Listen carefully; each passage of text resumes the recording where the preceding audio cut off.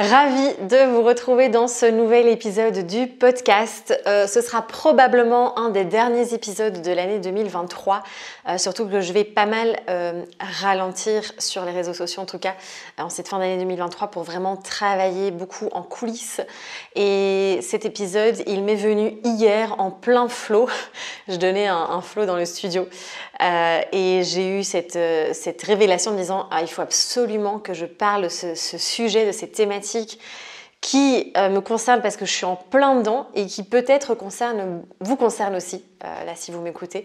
Et, et, je pense euh, que c'est important parce que moi-même j'ai écouté un épisode de podcast qui m'a euh, mis ça en lumière aussi, qui m'a rassurée. Donc je me suis dit, je vais évidemment, juste hein, par rapport à cette thématique, mais euh, venir approfondir ça ici, dans le podcast du coup, mouvement intérieur. Et donc ça me paraissait vraiment euh, une évidence. Donc voilà, on va parler aujourd'hui du coup de, de quête d'identité et peut-être que vous êtes aussi, vous traversez aussi cette phase-là. Ça arrive parfois dans la vie, ça nous arrive à plusieurs reprises, ce qui est tout à fait naturel. En tant qu'être humain aussi, on est tout le temps en évolution. Euh, c'est pour ça que j'ai appelé aussi euh, ce, podcast Mouvement intérieur pour venir mettre justement en avant euh, ces, comment dire, ces différents états, ces différents mouvements, cycles, phases aussi qu'on vit tout au long d'une vie. Et donc, donc voilà, ça me paraissait vraiment, vraiment important de, de pouvoir venir ici.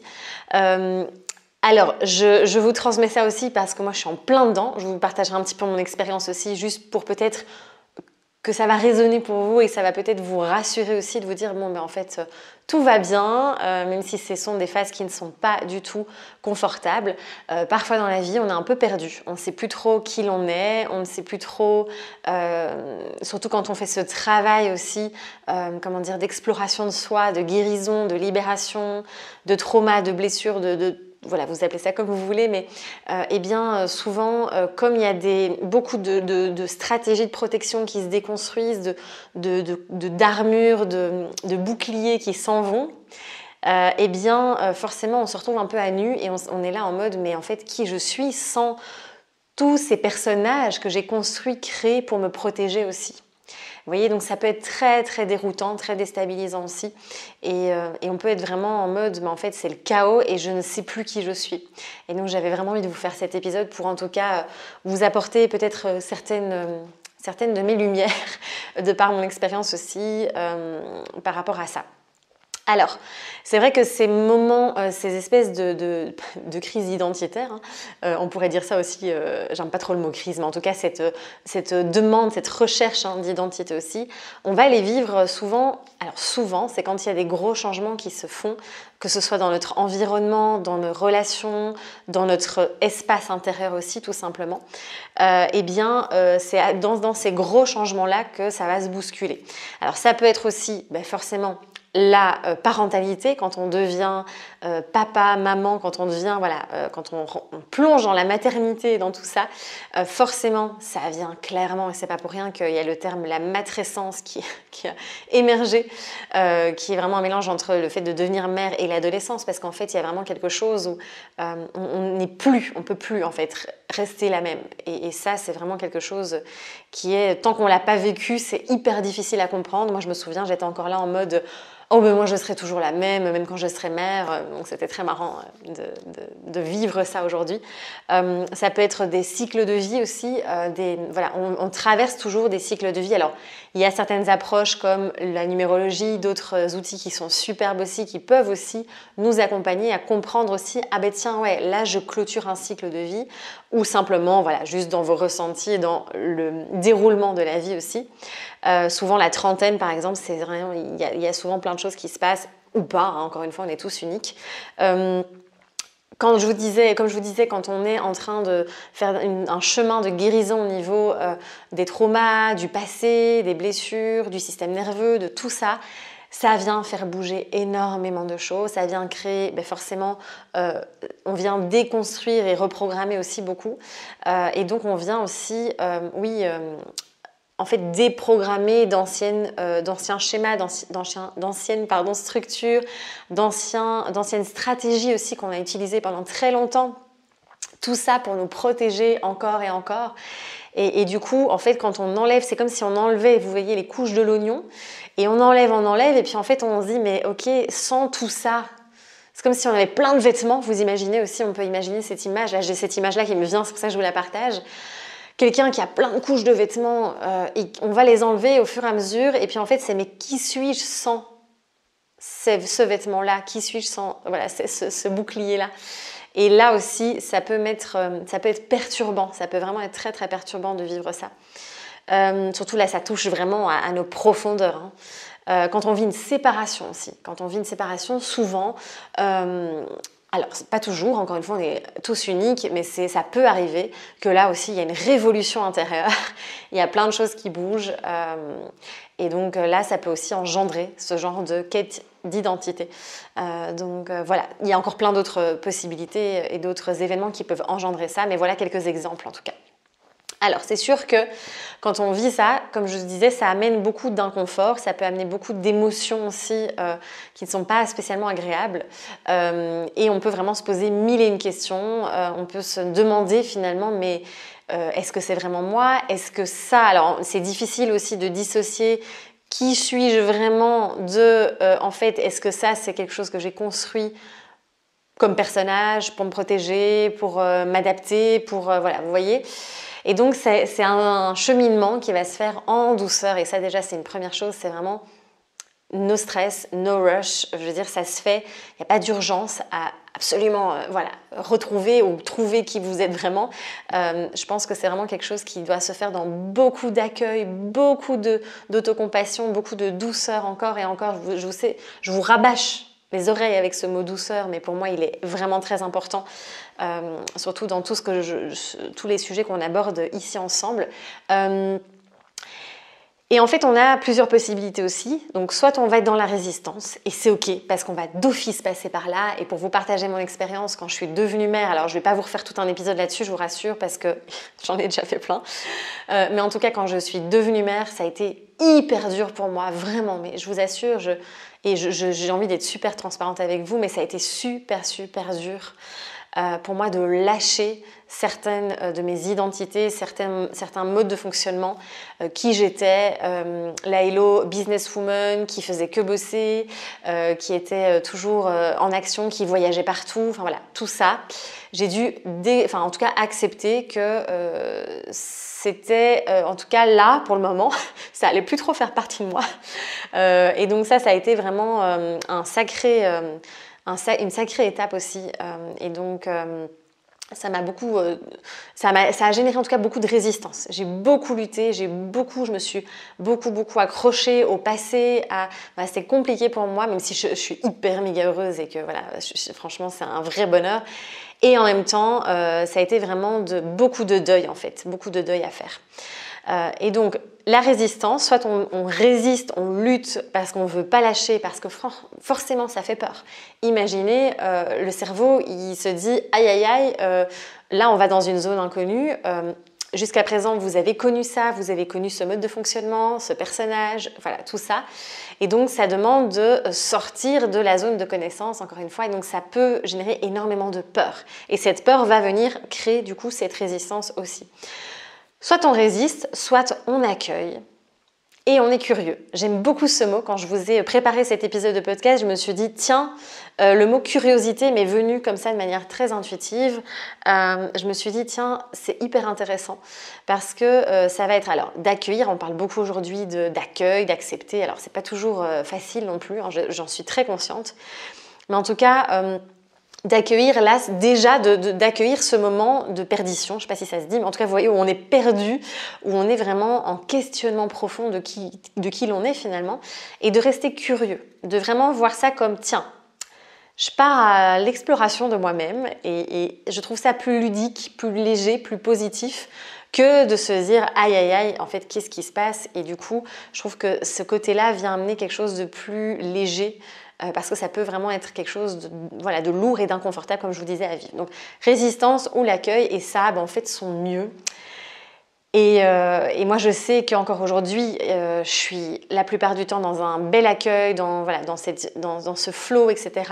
Mais qu'il y a ça, il y a encore plein de moments où je vais dans la résistance et l'idée, c'est d'être le plus en conscience possible. Et donc, c'est en prenant le temps, en ralentissant, en tout cas en étant en présence pleinement de soi-même, qu'on va pouvoir aussi eh bien, accueillir tout ça, accueillir tous ces, tous ces bousculements intérieurs aussi.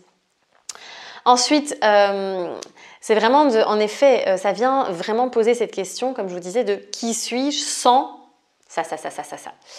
Voilà, comme je vous disais, si je vous donnais mes exemples, c'est qui suis-je sans être euh, la businesswoman tout le temps occupée avec son agenda full, avec euh, qui est toujours dans une énergie tout le temps on fire, euh, que si je suis pas dans cette énergie, c'est qu'il y a un problème, qui a besoin de vivre en ville. Ça, c'est vraiment quelque chose que je me raconte, que je me racontais encore il y a vraiment pas du tout si longtemps que ça. où c'est en fait et pourtant je vois quand je vis en ville aujourd'hui une journée j'adore une journée me suffit. Alors c'est sûr qu'il y a beaucoup de choses qui me manquent, euh, tout l'aspect culturel, artistique. Euh, ici, je le trouve un petit peu moins, enfin différemment, on va dire. Mais, euh, mais en fait, je me racontais encore cette histoire de, en fait, j'ai besoin de ça, alors qu'en fait, je me rends compte que c'est vraiment pour moi un cadeau là d'être dans cette nature. et dans cette énergie de montagne et de lac, enfin de, tout ça c'est hyper puissant. Et donc c'est petit à petit d'aller déconstruire aussi ce qu'on se raconte qu'est-ce qui tourne en boucle dans notre tête aussi? Vous voyez, là aussi, c'est bon, un sacré cheminement. Euh, euh, qui suis-je aussi euh, si je suis pas tout le temps en train de voyager? Enfin, Je vous donne des exemples comme ça, mais c'est vraiment de vous poser cette question aussi de à quoi je m'agrippe en fait encore. et c'est ça qui n'est pas facile aussi, c'est que ça demande beaucoup d'observation. D'observation de, de, soi, de tiens, est-ce que c'est l'ancien qui pour moi n'a plus de sens aujourd'hui, ou est-ce que ça fait vraiment partie de moi? Parce que c'est pas évident non plus de dissocier entre euh, la personnalité et euh, ben, toutes ces couches de protection, ces personnages, ces, mécanismes de protection, de survie et tout que j'ai mis en place. Vous voyez, c'est toujours un peu un espèce de, une purée comme ça, une bouillabaisse, mélange de tout ça, euh, un melting pot comme on dit en Belgique. Et, et c'est vraiment en fait, en effet, de toute façon, on ne peut pas, comment dire, je pense qu'on aura toujours, je veux dire toute notre vie, on aura quand même des stratégies de protection. De, voilà, faut pas non plus euh, chercher à devenir euh, pur, purement soi-même. Vous voyez ce que je veux dire Mais en tout cas, de se rapprocher au maximum de son essence, ça c'est vraiment quelque chose, je trouve, d'intéressant. De, et donc d'observer et de vraiment d'essayer de se dire, ben tiens. Euh, là, est-ce que ça fait encore, est-ce que ça a du sens encore pour moi aujourd'hui? Est-ce que ça fait vraiment partie de moi? Ou est-ce que je sens que c'est quelque chose qui, qui s'active là en moi pour euh, se défendre, pour se protéger, pour euh, se protéger du danger? Et donc c'est euh, vraiment intéressant et ça se fait très en douceur, ça prend du temps parce que des fois on n'arrive pas encore à le voir et puis des fois en une fois on ne sait pas pourquoi c'est intégré aussi. Euh, et je pense que ça peut être intéressant là aussi de peut-être euh, écrire, de mettre sur papier, de déposer euh, concrètement. Ça va peut-être vous aider à prendre de la hauteur aussi par rapport à ça. et peut-être aussi de vous dire, mais en fait, qu'est-ce que j'ai vraiment envie d'incarner, qui j'ai vraiment envie d'être. Et je vous donne un exemple aussi plus personnel, mais c'est vrai que moi aujourd'hui, j'ai vraiment envie en fait d'être cette personne qui est hyper ancrée, qui est hyper en présence en fait et qui est vraiment, alors je dis pas que je vais être calme tout le temps parce que cette énergie on fire, j'ai en moi cette énergie de feu et vous le savez, je vous le transmets à travers que ce soit les flots, à travers parfois voilà euh, dans les messages ou autres, euh, ça fait partie de moi. Mais je ne suis pas que ça en fait. Et euh, c'est pas, c'est plus quelque chose que j'ai envie qui domine aussi. Moi, j'ai vraiment envie d'être dans énormément de présence en fait. Et ça, c'est quelque chose que jamais j'aurais pensé vouloir avant, en fait, par exemple. Et je sais que c'est en moi. Je sais qu'il y a ça en moi, en fait. Euh, donc voilà. Et j'ai déjà dans ma manière de parler, ceux qui me connaissent depuis un petit temps, qui me suivent, c'est intéressant de voir que c'est plus du tout la même chose par rapport à avant. Donc voilà, vous voyez, c'est un exemple que je vous donne. Euh, et donc de peut-être vous poser aussi de, tiens, qu'est-ce que j'ai envie d'incarner euh, qu'est-ce que j'ai Moi, j'ai vraiment envie de prendre le temps de faire les choses et je le fais de plus en plus. J'ai vraiment envie de euh, pouvoir euh, m'offrir des moments pour moi. Enfin, vous voyez, de plus être cette Hello qui est tout le temps dans l'urgence, qui est tout le temps en train de penser à 10 000 choses et qui, parce que ça demande aussi du coup d'aller s'enlever pas mal d'étiquettes et de se dire, ok, en fait, tiens, est-ce que vraiment euh, c'est moi celle qui, en fait, oui, j'ai tout le temps un mental hyperactif et c'est vrai que c'est, vous voyez, des choses, il y a des fois des choses qu'on se raconte et qu'on vient renforcer et qu'on euh, ancre vraiment à l'intérieur de soi aussi. Euh, alors que je pense profondément que là, moi je, sais aujourd'hui que les troubles de l'attention, les troubles de la concentration, le mental hyperactif, la rumination, c'est pas quelque chose qui, comment dire, qui, fait partie de moi. C'est des réponses à euh, des états de survie, des traumas, des machins. Donc vous voyez, c'est vraiment ça qui est intéressant. Et c'est pour ça qu'aujourd'hui, alors une fois j'ai quelqu'un qui m'a dit oui, mais justement les étiquettes, ça permet de savoir qui l'on est. Encore une fois, il n'y a pas de vérité absolue, ce sont des points de vue. Euh, moi, je crois profondément que de se connaître, de s'écouter en profondeur, de répondre à ses besoins, d'être connecté à ses sensations et d'apprendre. Et du coup, plus je suis connectée à moi, plus je suis en capacité à savoir qui je suis. C'est ça en fait qui est important. Ce n'est que ma vision. Vous prenez ou vous jetez, il n'y a pas de souci. Mais voilà, récemment, une amie m'a dit Hello, faudrait que tu fasses les tests neuropsy pour savoir si tu étais DH, nanana. Et en fait, ça n'a pas du tout résonné en moi parce que je sais, et docteur Gabor Maté a écrit un bouquin là-dessus que je n'ai absolument pas encore eu le temps de lire euh, et que Camille Thomas m'a partagé, euh, dont elle m'a parlé. Et en fait, euh, il vient clairement décrire du résumé que j'ai pu lire, euh, voilà, la euh, provenance de ces troubles de, l'attention aussi, qui sont liés clairement à un système nerveux qui est dérégulé de toute façon. Je vous résume très très grossièrement, mais en tout cas, vous voyez, c'est vraiment donc c'est ok, est-ce que je viens me coller des étiquettes ou est-ce que j'essaye vraiment de euh, comprendre ce qui se passe en profondeur aussi dans mon corps? Et c'est vrai que souvent, ben, quand on, on, vient se coller aussi parfois des étiquettes, des identités, ça nous fait ça nous donne cette sensation et ce sentiment, encore une fois, d'appartenance au clan. Vous voyez, il y a vraiment quelque chose de très, euh, de très instinctif, de très, euh, euh, je dis toujours primal, mais vous comprenez ce que je veux dire, ancestral et très, de, sincèrement, en mode de survie, là, clairement aussi, par rapport à ça. Donc, bref, je ne vais pas refaire un podcast sur les étiquettes, mais en tout cas, voilà, c'est ce que je voulais vous dire aussi. Donc, c'est c'est vraiment de pouvoir aller accepter aussi que euh, certaines modes de fonctionnement, en fait, c'est pas finalement qui je suis vraiment, mais ce sont des stratégies que j'ai mises en place. Et c'est ok. Beaucoup d'amour, beaucoup, beaucoup, beaucoup de douceur envers soi, encore une fois, par rapport à ça. Et ça demande, ça prend beaucoup de temps. Moi, ça fait un petit temps maintenant quand même que je fais tout ce chemin. Ça fait à l'heure où je vous fais cet épisode de podcast, donc on est en bientôt en décembre 2023, euh, eh bien, ça fait un an que j'explore le système nerveux. Et là, c'est ces dernières semaines, j'ai vraiment des espèces d'intégration vraiment de tout ça.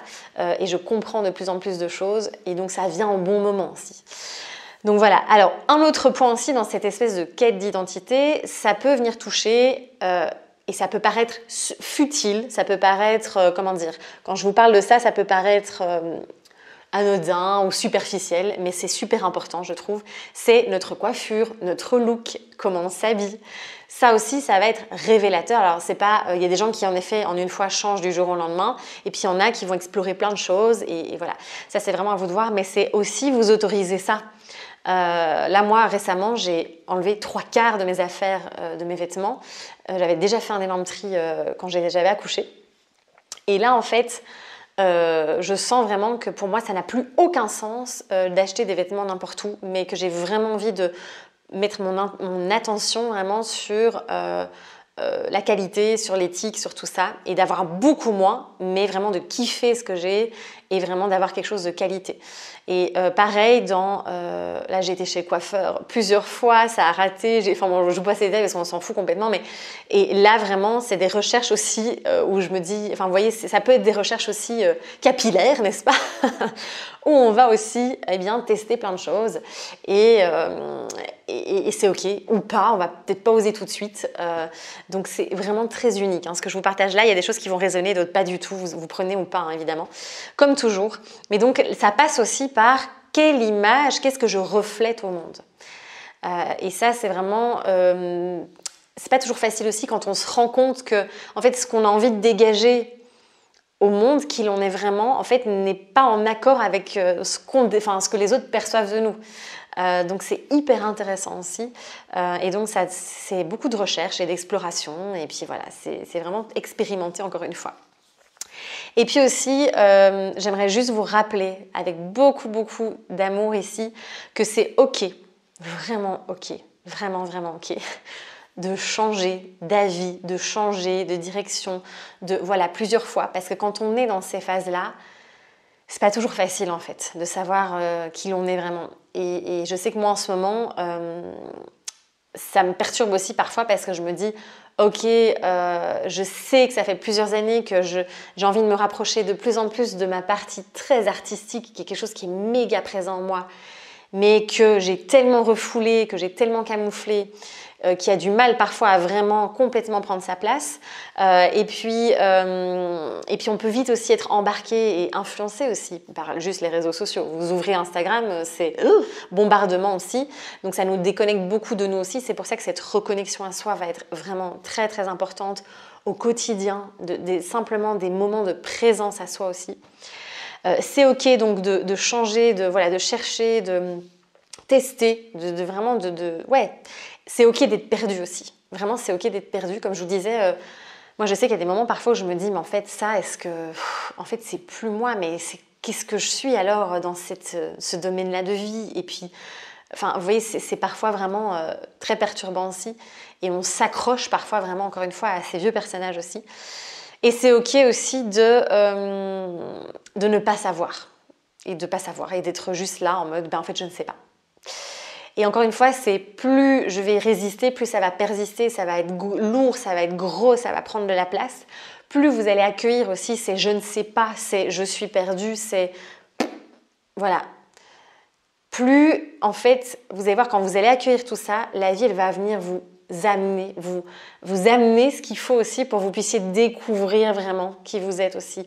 Et ça, c'est incroyable. J'ai des frissons dans le dos là en vous disant ça. Euh, et ça, c'est incroyable. Moi, par exemple, là, je sais que j'ai à nouveau plein de contenus qui viennent à moi qui sont très artistiques, des musiciens, des danseurs. Et je me dis, mais oui, en fait, c'est ça qui. J'ai besoin de me nourrir de ça.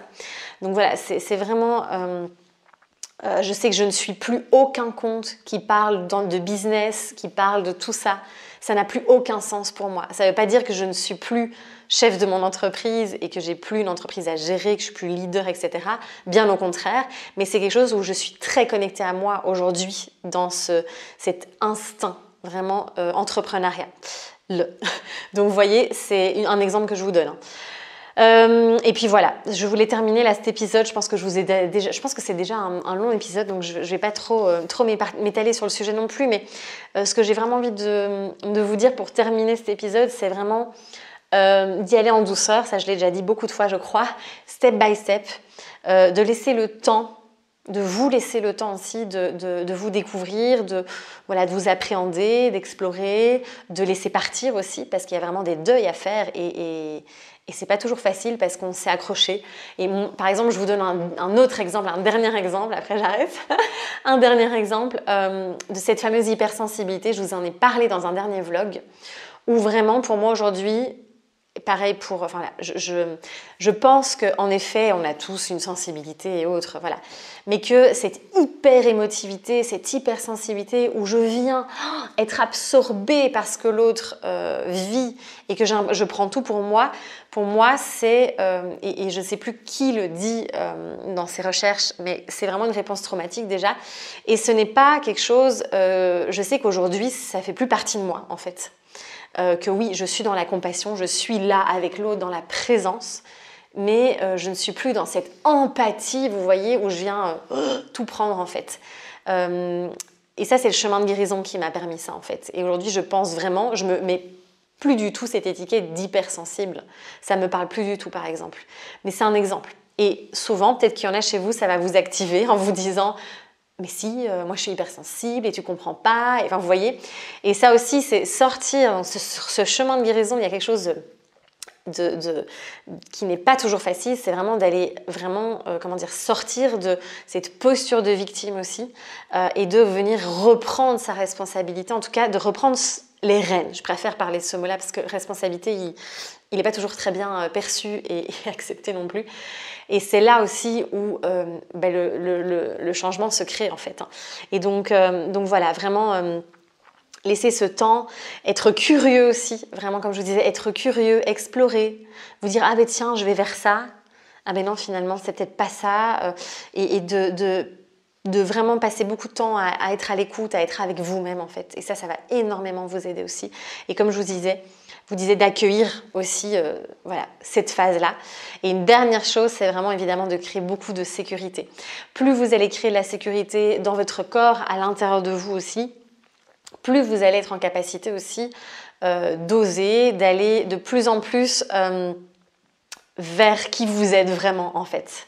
Et ça, ça demande beaucoup, beaucoup de sécurité, d'ancrage, de présence. Donc, euh, donc, voilà, je pense que c'est déjà pas mal. Je suis vraiment contente de, vous proposer cet épisode. J'espère vraiment que ça va résonner en vous et peut-être que ça va vous rassurer, peut-être vous faire du bien aussi.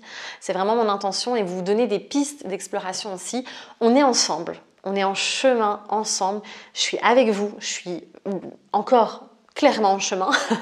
Euh, plein plein de choses qui se passent et, euh, voilà donc, euh, donc force à nous, beaucoup d'amour et de douceur. Et puis ben, on se retrouve avec grand plaisir, soit dans un dernier épisode, je ne sais pas si j'en ferai encore un, et sinon on se retrouvera en 2024. Je vous embrasse très très fort et à bientôt.